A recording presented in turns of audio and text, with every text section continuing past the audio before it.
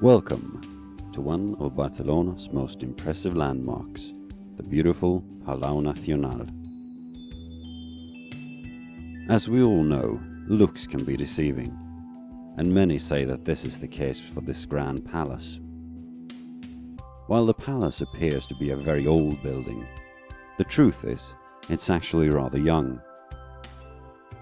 The cityscape on the mountain the palace stands on, Montjuic, has undergone two major changes.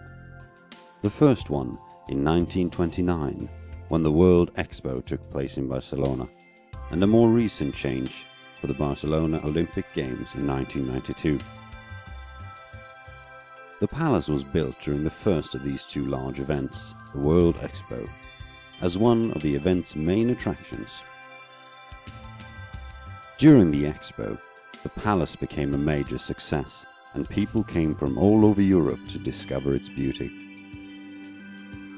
The designers, the Spanish architects Enrique Català and Pedro Cendoya Oscoz, built it in the style typical of palaces that housed European royalty.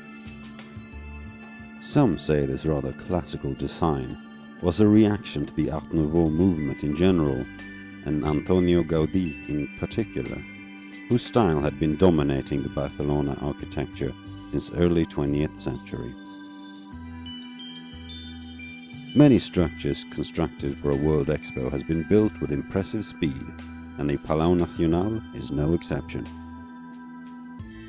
The foundation stone was laid in 1926 and the mighty building stood complete just three years later. After the World Expo, the palace became the host for the Museu d'Art de Catalunya, the National Museum of Catalonian Art, which it still hosts today. Inside the museum, you can find lots of beautiful art, both old and new, but with a general focus on Romanesque art. The Romanesque style was an 11th to 13th century art movement characterized by vibrant colors, elongated forms, and expressiveness.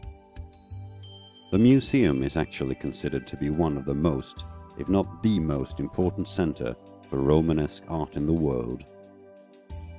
If you're interested in art, the museum is definitely a must.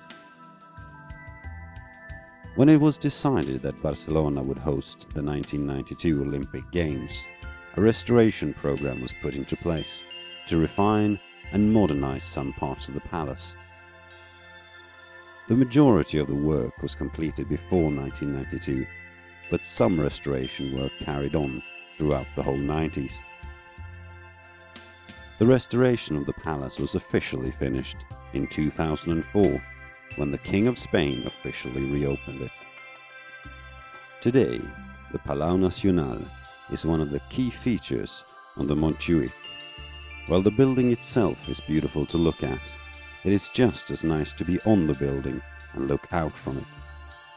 If you plan to go inside, don't forget to go to the roof terrace. It will give you a magnificent view of the magic fountain and the rest of the city.